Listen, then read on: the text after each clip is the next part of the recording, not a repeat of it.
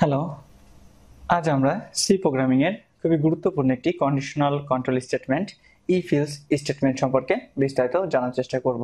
তো আমরা প্রথমেই এটা বোঝার চেষ্টা করব যে ইফ ইলস স্টেটমেন্টটা আসলে কোন কোন প্রোগ্রামগুলো করার ক্ষেত্রে বা সলভ করার ক্ষেত্রে ব্যবহৃত হয়ে থাকে বা প্রোগ্রামিং এর কোন কোন সেক্টরগুলোতে আমরা ইফ ইলস স্টেটমেন্টকে সাধারণত ব্যবহার করে থাকি। তো ইফ ইলস এখানে যদি আমরা ইফ ইলস কথাটিকে একটু ভাঙার চেষ্টা করি, তো ইফ শব্দের অর্থ হচ্ছে যদি আর ইলস শব্দের অর্থ হচ্ছে অন্যথায়। অর্থাৎ ইফ ইলস এই যে স্টেটমেন্টটা এই ইফ যদি, যদির মধ্যে আমরা একটি কন্ডিশন দেব এবং সেই কন্ডিশনটা যদি ট্রু হয়, তাহলে এর মধ্যে আমরা একটি স্টেটমেন্ট রাখব। আর যদি সেটা ফলস হয়, তাহলে আমরা ইলস এর মধ্যে আরেকটি স্টেটমেন্ট দিব। অর্থাৎ বিষয়টা হচ্ছে এরকম, একটা প্রোগ্রামের মধ্যে যদি আপনাকে এমন কোনো একটা সমস্যা দেওয়া হয়ে থাকে, যেখানে আপনাকে দুইটা সত্য নিয়ে কাজ করতে হচ্ছে এবং সেই দুইটা সত্য একটা মাত্র কন্ডিশনের উপর নির্ভর করছে। সেই জায়গাগুলোতে আপনি খুব সহজে ইফ ইউজ স্টেটমেন্ট ব্যবহার করে সেই প্রোগ্রামটাকে খুব ভালোভাবে সলভ করতে পারবেন। যদি আমরা ইফ ইউজের সিনট্যাক্সটাকে একটু বোঝার চেষ্টা করি, তাহলে আমরা এখানে দেখতে পাচ্ছি ইফ ইউজ স্টেটমেন্টটা সাধারণত সি প্রোগ্রামিং এর মেইন ফাংশনের ভিতরে ব্যবহৃত হয়ে থাকে। তো এখানে ইফ যে স্টেটমেন্ট এই ইফ স্টেটমেন্টের মধ্যে অ্যাট ফার্স্ট আমরা কন্ডিশনটাকে বসিয়ে দেব। অর্থাৎ এইখানে আমরা যে প্রোগ্রামটি করব, সেই প্রোগ্রামটি রিলেটেড যে কন্ডিশনটি লজিক্যালি আমাদের আসে, সেই কন্ডিশনটাকে আমরা এখানে তুলে দেব।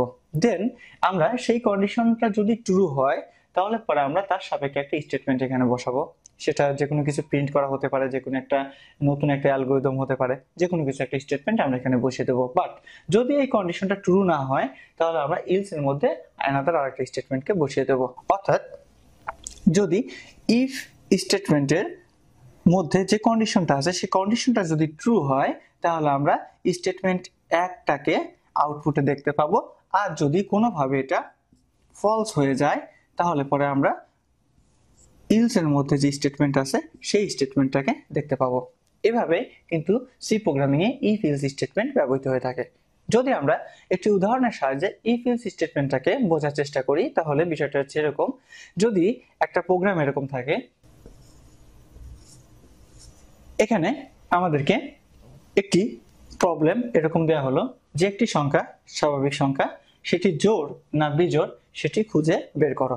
অর্থাৎ আমাদের কাজ হচ্ছে একটি স্বাভাবিক সংখ্যা এখানে আমরা ইনপুট করব এবং তারপর আমরা যখন আউটপুট দেখতে চাবো, সেই সংখ্যাটি জোর নাকি বিজোড় সেটা আমাদেরকে দেখাবে। তো আমরা যদি এই প্রোগ্রামটাকে করতে চাই, তাহলে এই প্রোগ্রামটা খুব সহজে এই ফিল স্টেটমেন্টের সাহায্যে কিন্তু আমরা করতে পারি।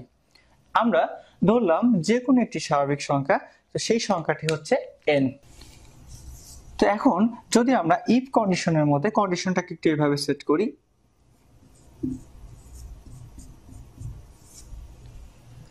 আমি এখানে যেটা করলাম, সেটা হচ্ছে কন্ডিশনের মধ্যে দিলাম if n modulo two equal zero তাহলে কি হবে? আমরা সবাই জানি মডুলোর কাজটা হচ্ছে মডুলোর কাজটা হচ্ছে যে এই টু এন কে ডিভাইডেড করবে এবং ইকুয়াল জিরো মানে হচ্ছে এই ভাগ শেষ, অর্থাৎ এখানে যদি ভাগ শেষের মানটা, সেটা কার সমান হবে? জিরো সমান হবে। অর্থাৎ যদি আমরা এন কে দুই দিয়ে ভাগ করে, কারণ আমরা সবাই জানি জোর সংখ্যাগুলো নিঃশেষে দুই দ্বারা বিভাজ্য। সুতরাং এন কে যদি আমরা দুই দিয়ে ভাগ করে ভাগশেষটা জিরো সমান পাই, তাহলে আমাদের স্টেটমেন্ট ওয়ান হবে এবং সেই স্টেটমেন্ট ওয়ানের মধ্যে আমরা প্রিন্টেপ লিখব।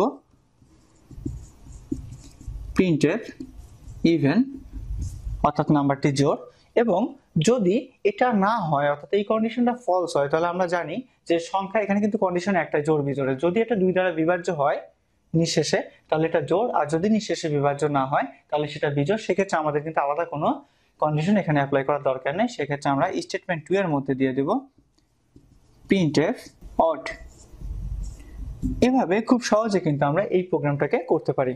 যদি আমরা এক্সাম্পল হিসেবে এই প্রোগ্রামটা এখানে করি বা এই প্রোগ্রামটা কীভাবে কোড করতে হয় সেটা যদি আমরা এখানে লিখি, তাহলে আমরা বিষয়, আশা করি বিষয়টাকে আরও ভালোভাবে বুঝতে পারব। তো এখানে যদি আমি এটাকে একটু এভাবে করার চেষ্টা করি, আমরা হেডার ফাইলটাকে ডিক্লেয়ার করলাম দেন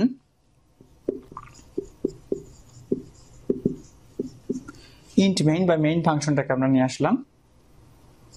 তো যেহেতু আমরা একটা নাম্বারকে আগে আমাদেরকে ইউজার একটা নাম্বার আমাদের দেবে এবং পরবর্তীতে প্রোগ্রাম সেই নাম্বারটি জোর নাকি বিজোর খুঁজে বের করবে, সেই জন্য আমাদেরকে অ্যাট ফার্স্ট একটা ভেরিয়েবল এখানে ডিক্লেয়ার করে নিতে হবে, যেটার মধ্যে আমরা ইনপুটটাকে দিব। সো আমি এখানে ইন্ট এন একটি ভেরিয়েবল ডিক্লেয়ার করে নিলাম। এখন যেহেতু এই নাম্বারটা আমরা, আমাদের বাইরে থেকে আমরা ইনপুট করবে এবং দেন প্রোগ্রাম খুঁজে বের করবে বা ইউজার তার ইচ্ছা মতন দিবে। সো আমরা এখানে নাম্বারটাকে যদি একটু এভাবে নিই প্রিন্টে enter your number printf enter your number, then নাম্বারটাকে আমরা যাতে ইনপুট করতে পারি, তার জন্য আমরা এখানে স্ক্যানএফ ইনপুট যে লাইব্রেরি ফাংশন আছে সেটাকে ব্যবহার করলাম। এখন কিন্তু আমরা এখানে মধ্যে কন্ডিশনটাকে ইউজ করব। তো আমরা এখানে যদি ইফ কন্ডিশনটাকে এই কন্ডিশনটাকে দিই, যেহেতু এখানে আমাদের স্টেটমেন্ট একটি, সেজন্য আমাদের এখানে এক্সট্রা করে সেকেন্ড ব্র্যাকেটটা না দিলেও চলে। সুতরাং আমরা এখানে লিখতে পারি প্রিন্টে নাম্বার ইজ ইভেন অর্থাৎ সংখ্যাটি আমাদের জোর দেন ইলস যেহেতু আমাদের এই কন্ডিশনটা ট্রু হলে, অর্থাৎ এখানে এই কন্ডিশনটা ট্রু হলে স্টেটমেন্ট ওয়ান আর এই কন্ডিশনটা যদি ফলস হয় সো স্টেটমেন্ট টু হবে।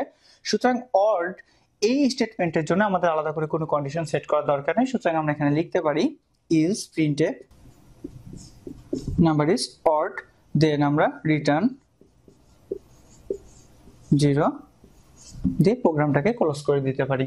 তো এভাবে আমরা খুব সহজে সি প্রোগ্রামে যে কোনো একটি জাস্ট কন্ডিশনাল যদি কোনো প্রোগ্রাম আসে সেক্ষেত্রে যদি কন্ডিশন একটা শর্তের উপর যদি একটা কন্ডিশনের উপর যদি দুইটা শর্ত নির্ভর করে, তাহলে আমরা এইভাবে কিন্তু খুব সহজেই ইফ ইলস স্টেটমেন্টটাকে ব্যবহার করে প্রোগ্রামটাকে করে ফেলতে পারি। আগামী টিউটোরিয়ালে আমরা ইফ ইলস ইফ ইলস বা একাধিক শর্ত দিয়ে যখন কোনো প্রোগ্রাম করতে হয়, তখন সেটাকে কীভাবে করতে হয়, সেটা সম্পর্কে বিস্তারিত আলোচনা করব। সে পর্যন্ত ধন্যবাদ সবাইকে।